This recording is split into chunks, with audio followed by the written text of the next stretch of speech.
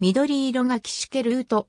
紫色はナジケルートキシケルートとは、ハンガリーブダペストにあるブールバールで、デアークフェレンツ広場とフェバーム広場を結んでいる。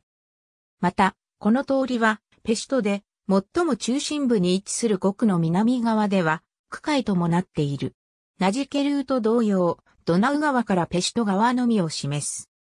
2010年から2011年にかけて行われた改修前のカーロイ通りをドハーニ通りとの交差点からキシュケルートは、カーロイ通り、美術館通り、バームハーズ通りの3つの通りを合わせた俗称となっており、これらの3つの通りの名前は旅行者の地図やビル等で見ることができる。キシュケルートは 1.5km の長さを有し、道路の中心にトラムが走っている。道幅は北部で最大55メートルあり、南部で最低27メートルある。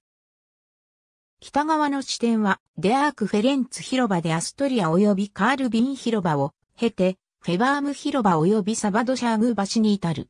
また、ラーコーシ通りとは、アストリアで、ウルレイ通りとは、カールビン広場で交差する。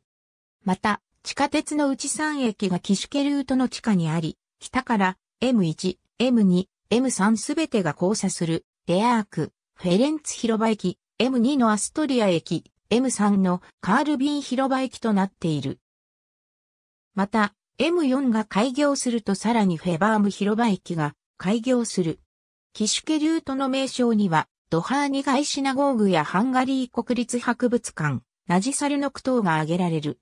また、キシュケルートには、エトベシュロラーンド大学芸術学部、かつてのブダペシュトコルビヌス大学の2つの大学が存在する。